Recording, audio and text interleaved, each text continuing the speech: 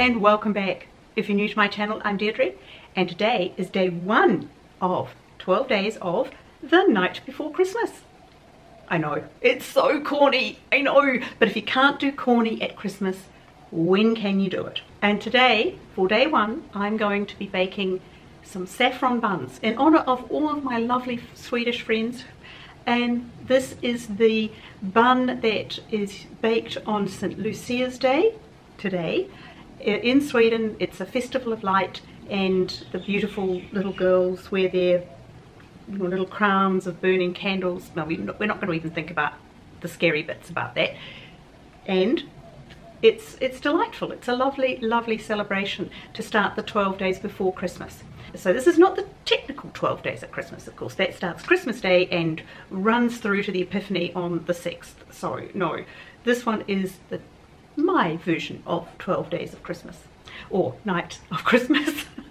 okay, so I'm not a professional baker. You'll have to forgive me. It's about 33 degrees Celsius here and I didn't want to chill the house down before I baked because I want the bread to be able to rise. Well, so um, for the next hour or two here I'm going to be very warm. Anyway, let me take you to my non-professional seen it done once and I've got a recipe off Paul Hollywood on BBC. So this is my version of his version of saffron buns. Here we are on the first day I'm going to try something I've never done on my own before. I've seen friends do it and I've sort of helped out but I haven't done it on my own so be kind okay. So what I have here is um, 250 ml of slightly warmed whole milk. And over here I have about a teaspoon because that's all I had left of saffron. And I'm going to add the saffron to the milk which is absolutely beautiful. I can get it all out. Okay I'm just going to get something to get this out with when in doubt, resort to a chopstick.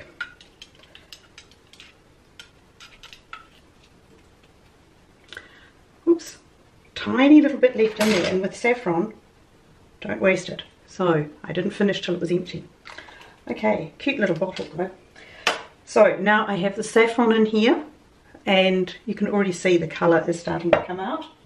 And I'll just give it a whiz with this, there we go start dissolving that colour, that beautiful, and it has already that sort of slightly, oh I don't know, saffron, this, this wonderful smell of saffron.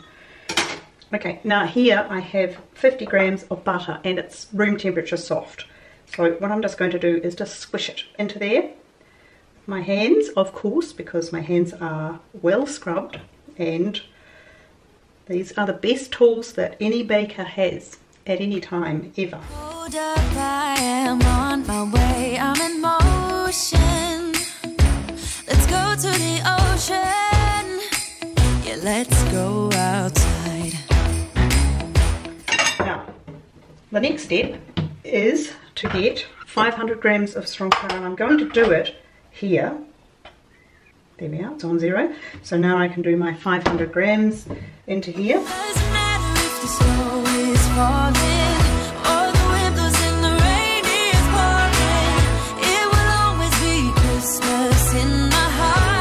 Going to add seven grams of yeast, so I'm just watching. Here we are. And put that away. Then I have to add one teaspoon of salt. And I've sort of put the yeast on one side and I'll put the salt on another put the salt over there. And now I'm going to add 50 grams of caster sugar.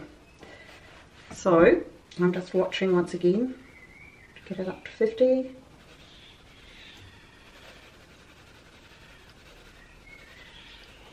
Oh, here we go, 54. Take a pinch out. Yes, that's it. That'll be fine. Tiny bit sweeter than it should be. It's 53.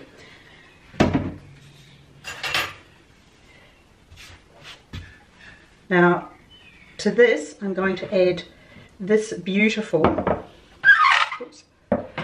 that away. Now, because it's me, I'm going to add, put it in my mixer bowl and I'm going to use my dough hook to do this. So I'm tossing that in there and I'm going to add this beautiful, gorgeous mix in here. And then the final element is a soft cheese, 100 grams of a very soft cheese.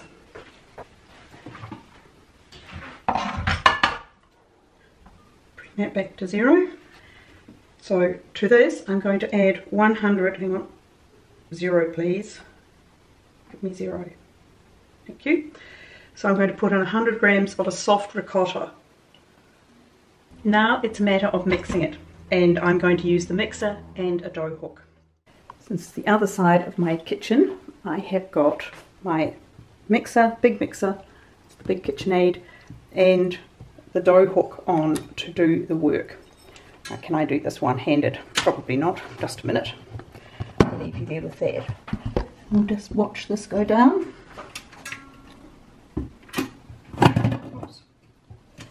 it's all locked in properly.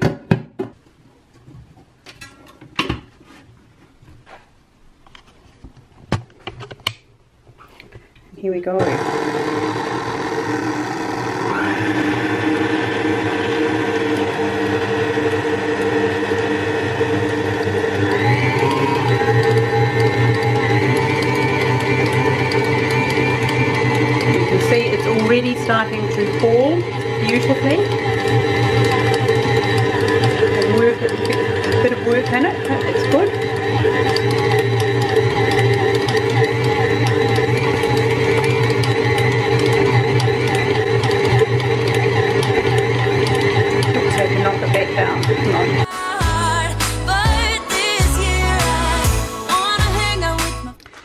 Okay, so this dough has just, I've just turned it off and it's pretty well done, I think. It's very nice and stretchy. So it's slightly clinging to that hook but peels away beautifully. Oh, it's soft and stretchy. Mmm, it's had it, I think that's probably enough. It's had a while. Um, let me have a look at it. What you can see is how stretchy and soft it is. See how it's hanging together? That's showing you that the gluten has been activated and it's holding together in these strands. It's doing quite well at this point. You can see I've got strands, I've left the strands of saffron in it. I did not strain it, remember? I rather like the idea of the saffron being in it. Beautiful little hints of intense flavour and colour. Right, over to a greased bowl. And here it is, ready to go in to the bowl for proving. So I'm going to use a glass bowl just so that when, later we can see how beautifully it'll have risen. So I've just, I could actually just form it into a little ball here, a nice smooth little ball, tuck all its little ends under so it looks even prettier. And it's a wonderful chance to play with it. Children aren't the only ones who love playing with dough.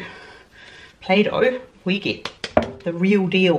A little fat loaf of a pop it in there. One of the few times I use something like a cling wrap and uh, I'll cover it with that. And today it's nicely warm here in Melbourne so I suspect I'm not going to have to worry too much about getting enough heat on, onto it to rise I'll just pop it in a warm case which is sort of everywhere okay there we are nice little fat baby waiting to turn into a beautiful risen dough. Now just to let you know what it should look like, you see you can see that this is already starting to get a little dome on it because of the carbon dioxide given off by the yeast working. I think it's CO2. Yes it is. Uh, given off by the yeast starting to work. See that's turning into a little drum and this is only after a few minutes. It's probably been maybe 10 minutes into the hour. I've set it for an hour because it's quite warm, my, my timer. Normally you rise it, um, let it rest to rise for about an hour to an hour and a half. It is quite warm, so it may double in size even before then. And here it is, beautifully risen. You can see that beautiful dome that shows that it's been working hard. I'll just take this off and you can see that it's more it's more than doubled in size. Oh, and it just feels beautiful. And that colour in the saffron, oh, it's amazing. Yum. So now I've just got to shape the buns and then let them prove. Oh, it's such a soft, beautiful, beautiful dough. Let's hope it's going to work, shall we? Okay, time to take this out of the bowl. Oh, just lovely. Yum. Okay, I'm just going to put a bit of flour on the board. Turn it out and hear that nice sort of hollow sound that it gets. And after a very short interlude to change the battery, I'm now going to roll this out. Be oh gosh, it's beautiful to handle. It's such a lovely, soft, pliable dough. Yum. I think perhaps I needed, the only thing I'd say is that I needed to dissolve the saffron in the milk a little more. Maybe the milk needed to be a little warmer.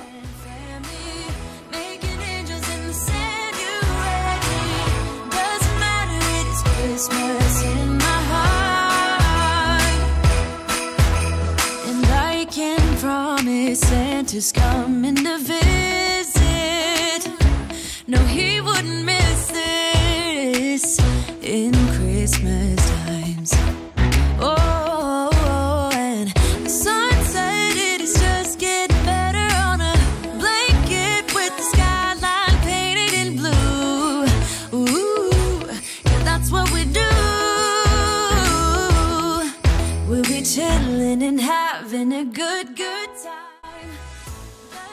Now this process is making a child playing with um, Play-Doh or plasticine. When we were little, I was little, it was plasticine.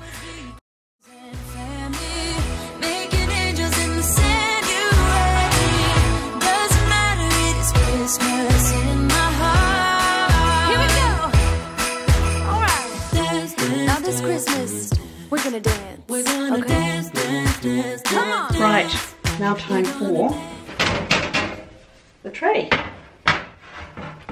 So let's get these in. So some shapes. I think the first one is the, um, it's called the boar. It's meant to look like a piggy. I have no idea really why they're called this, but that's sort of an S shaped one. And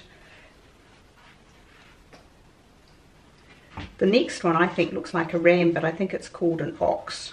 But I think that's more sort of ram like myself, but there we go. It's just because I grew up on a sheep farm, so that one definitely looks like a that one definitely looks like a ram to me. And the next one you divide in half. Okay, so you've got now two little sausages. The next one, and you do that little S again, like that, and whoops, like this maybe I roll it a little bit more. So you have two, like that, and then you put them together, sort of squish them in the middle to make a little cross with curly edges. Halves, don't know what that one's meant to be. it looks a bit funny anyway, so I wouldn't worry about it. I think my favourite one is the um, is the ox, which looks like a ram. Now these will rise quite a bit, so I need to keep them quite well apart. I think I'll only do six on the tray. Do another tray of them. Don't want them all squishing together.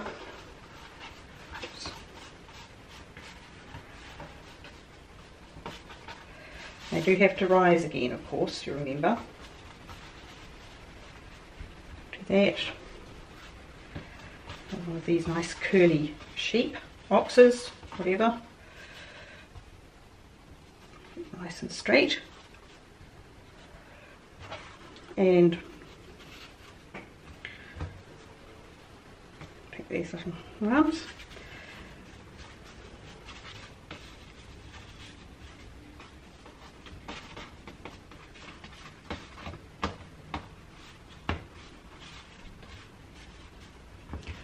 They look a bit odd, but they now have to rise again before I glaze them and pop them in the oven. And here we go, very lightly covered them with plastic wrap just to keep the, them from drying while they do a second prove. Now I've got another tray over this side sitting here. That's the one I just did, so that's not quite as fat yet. So we'll see how they prove. They're odd shapes, aren't they? I know. I'm not very good at making the shapes, apparently. This one just looks like a figure eight. Oh dear. I might have to fix that one. Well, these may be some of the strangest uh, shaped saffron buns ever made, but um, obviously have a bit of work to do in the shaping department. Right now, I'm just going to give the tops a very, very light glaze with uh, one just uh, beaten egg yolk, and I'm going to make sure I put it just on the tops because I don't want them sticking to the tray if it slops down the sides. So I'll just do those. Whoops, that one's already gone on the tray. It's not a good start. There we go. And then I'll pop them in the oven ready to, uh, I think it's about between 12 and 15 minutes in the oven.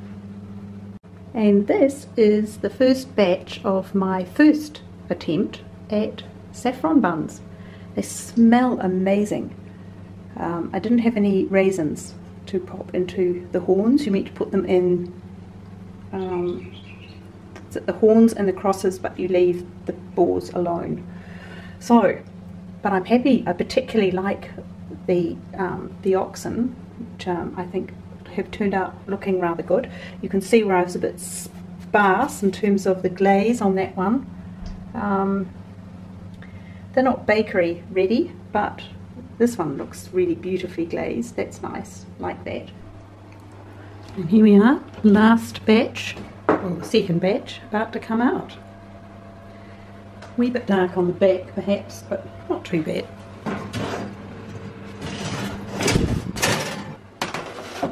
And I would call that an okay, an okay, you know, result. Um, let me think about what I would do differently. Well, there we are. That's all of them happily hanging out together. And what would I do differently? Well, the, the dough didn't colour up as well as it should have. Maybe I didn't have quite enough saffron. And on top of that, maybe the milk wasn't quite warm enough to completely dissolve the saffron and get the colour out of it. So those are two things that I'd be careful about next time. The other one was that when I proved it the second time after I'd made the shapes, I you know, I left it for the half an hour and they seemed okay, but what I didn't do was that sort of test. I, when you tap them with your finger, they have to spring back before they go in the oven. And that means that they've finished proving. And what else? Oh, I'd be a little bit more even with the glaze because the glaze was not as even as it should be. Maybe I'd mix the egg yolk with a tiny bit of milk just to make it a little bit um, less viscous. And apart from that, I'm quite happy with these. They're a bit wonky. Their shapes are wonky, but hey, I don't mind about that. Oh, the other thing is that these, I wondered if these would, the crosses would cook as evenly as the rest of the buns.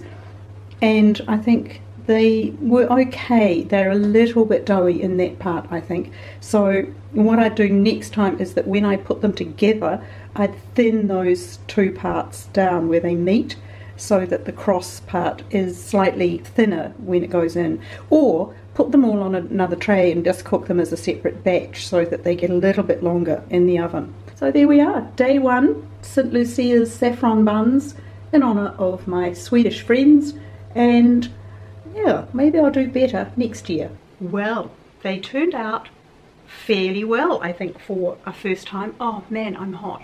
Okay, it's it shouldn't be baking on a day like today the oven has just heated my apartment up and I'm about to go out so I'm not going to put the air conditioning on and it's so nice there's a bit of a breeze coming through and it's a perfect summer's day really just not a perfect summer's day for baking remember Deirdre in summer you bake at night or early in the morning I'll do it next time at five o'clock in the morning when I'm awake and it's still quite cool definitely it's a rule of thumb for Australia you barbecue in summer You eat outside in summer if you can avoid getting eaten by mosquitoes. And on top of that, you do any baking you have to do in the evening if it's at night when it's cooled off a bit and you can have fans on and aircon and everything else to try and keep the heat down a bit. So I'm a bit pink but I'm happy with my saffron buns. So if you enjoyed that I hope you give me a thumbs up please and don't forget to subscribe, little red button down there and follow along. Come along for the journey of the night before Christmas. I hope that whatever you're doing, you're having a lovely day and I will see you tomorrow. Bye.